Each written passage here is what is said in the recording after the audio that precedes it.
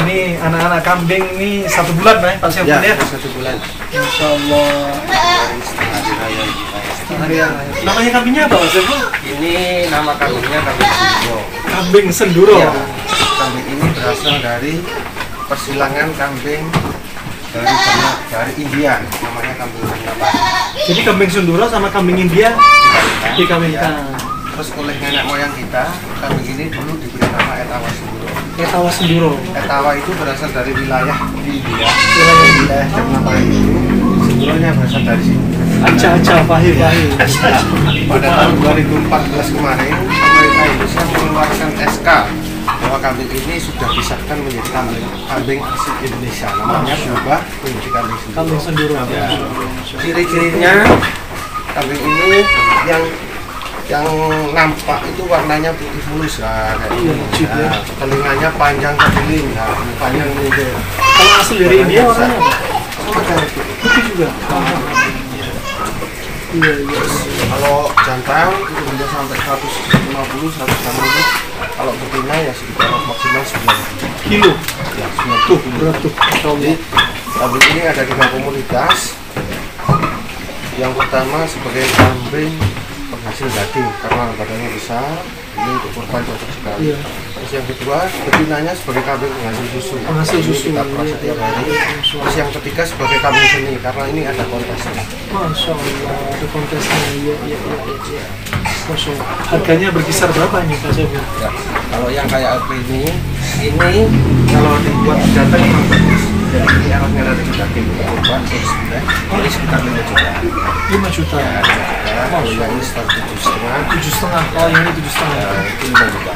5 juta. Kalau yang sono tadi Yang sama tadi yang besar sekitar 15 15 juta. Bahkan kemarin Pak Saiful ngirim berapa? Iya, itu harga 65 juta. 65 juta kambing. korban. Kambing korban.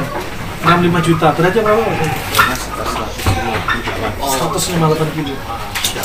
Wajib. Masya Allah. Sekarang kalau kita bahas lebih baik mana? Eh, yaitu urunan beli sapi tujuh orang urunan sama kambing yang mahalnya kayak gini. Tentunya lebih utama kayak gini.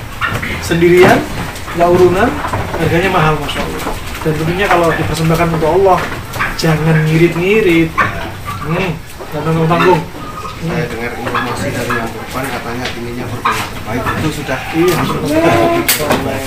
telinganya perfect Allah barik terus tanduknya juga masya Allah tubuhnya masya Allah bulunya masya Allah.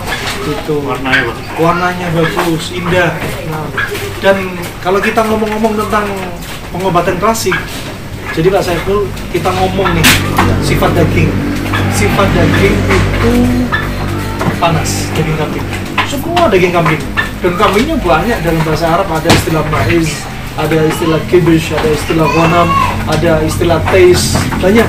Kalau ini dalam bahasa Arab ada semacam jenisnya seperti tais karena bulunya cakep. Kalau di Arab tais itu bulunya lurus sampai hampir tanah. Ya. Dan kalau lihat kita lihat dagingnya dagingnya dia panas Eh, panasnya dia sifatnya panas dan agak kering dan kurang asiknya kalau jenis ini agak alot agak sulit dicerna. Adapun daging yang paling disukai kibas. Kibas itu lebih mudah dicerna. Ya lebih mudah dicerna. Panas tapi mudah dicerna. Tapi ini asiknya lezatnya kadang orang suka dengan daging kering yang seperti ini. Enaknya gitu. Dan untuk jenis susu ini susu kambing nih. Ya. Susu kambing ini kalau kita lihat kalau orang habis minum susu kambing rasa badannya gimana? ini susu kambing itu banyak manfaatnya untuk saya.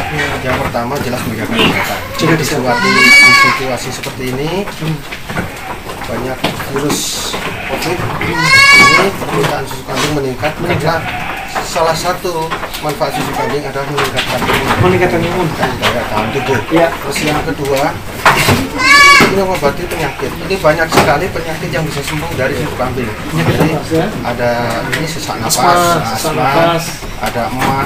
ada lambung, darah tinggi, darah rendah, kolesterol itu banyak.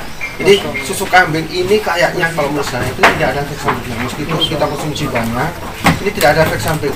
Cuman ada efek sampingnya kalau kita minum susu kambing ini makan makan ini kita agak alasan karena apa? Karena mengenyangkan. Hmm, susu kambing mengenyangkan itu. Tapi kalau efek samping misalkan minum susu kambing menyebabkan apa itu kolesterol darah tinggi Ini efek depan lah ya. ya efeknya efek depan.